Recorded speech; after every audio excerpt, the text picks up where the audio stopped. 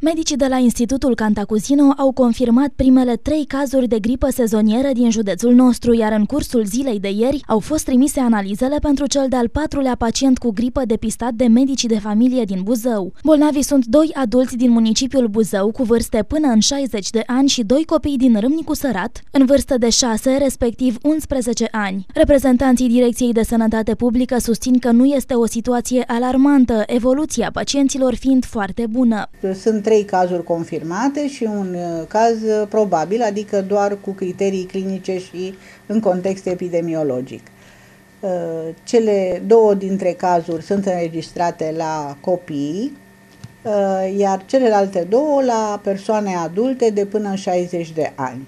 Formele de boală nu au fost foarte grave la adulți, au, n-au necesitat spitalizare, Uh, primul caz confirmat la copil a impus spitalizarea la nivelul spitalului Alex, uh, Grigore Alexandrescu cu sindrom acut respirator infecțios sever, dar evoluția a fost foarte bună și copilul așteaptă să fie deja externat.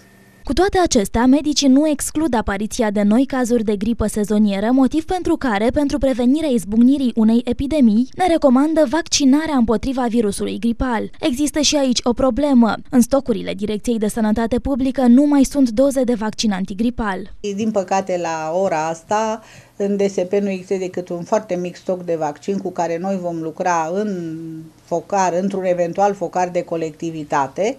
În rest, până acum s-au vaccinat prin DSP mai mult de 12.000 de persoane. Mai avem încă la cabinetele medicilor de familie un stoc de aproximativ 1000 de doze, care probabil că unii dintre ei l-au și epuizat și așteptăm să ne fie raportat ca și efectuat.